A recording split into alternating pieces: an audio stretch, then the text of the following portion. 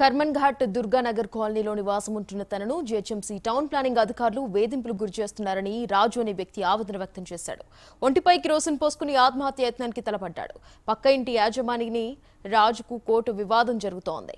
ఈ నేపథ్యంలో ఎలాంటి నోటీసులు ఇవ్వకుండా రాజు ఇంటిలోని బాత్రూమ్ మెట్లు కూల్చివేయడంతో మనస్తాపం చెంది ఆయన సూసైడ్ అటెంప్ట్ చేశాడు. పోలీసులు ఘటనా స్థలానికి చేరుకుని కేసు నమోదు చేశారు.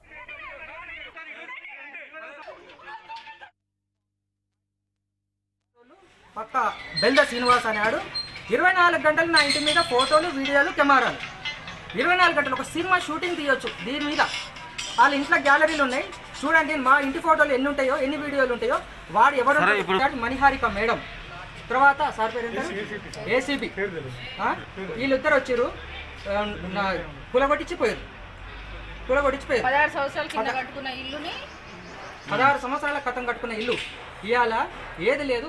నేను ఊకున్న ఉట్టిగా కుల నన్ను నేనేమన్నా అంటే హైకోర్టు నుంచి నాకు నోటీస్ పంపించండి ఇది కులగొట్టని తప్పు చేస్తున్నామని అంటే మేము ఊకుంటామని చెప్పినాం. వాళ్ళు ఏది లేకుండా కులగొట్టి పోతూనే ఉన్నారు. సార్లను బతిలా కాళ్ళు మొక్కిన దండం పెట్టిన వల్ల కాక నేను ఆత్మహత్య చేసుకోవాలని చూసిన. దీని దీని గిటా సహకరించకపోతే నేనేం చేయాలి నాతోటి నేను పట్టుకోలేను నాకు తోటి ప్రాణహాని ఉంది. ఇద్దరు పిల్లలు ఉన్నారు. దేశానికి ఒకలమైన వాడు నన్ను చంపాలని ఎంతో ప్రయత్నిస్తున్నాడు.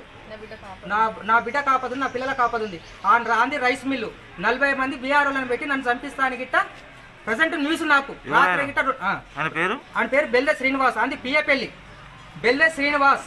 డబ్బులు ఆర్థికంగా డబ్బులు ఉన్నాడు బాగా కె- కెపాసిటీ ఉన్నాడు. చాలా ఉన్నాయి. ఆయనతోటి నాకు చాలా ప్రాణహాని ఉంది చూడండి